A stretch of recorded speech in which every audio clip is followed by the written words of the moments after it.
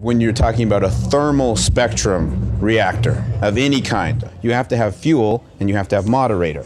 And they're both essential to the operation of the reactor. The moderator is slowing down the neutrons.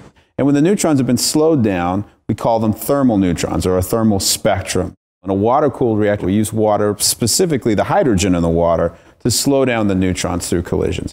The graphite in the molten salt reactor, is that a moderator? Yes, that's the moderator in the reactor.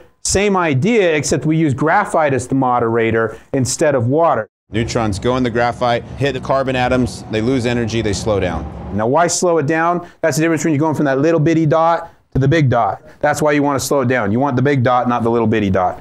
A thermal spectrum molten salt reactor has to have the graphite moderator of the core in order to sustain criticality. If the vessel ruptures, recriticality is fundamentally impossible.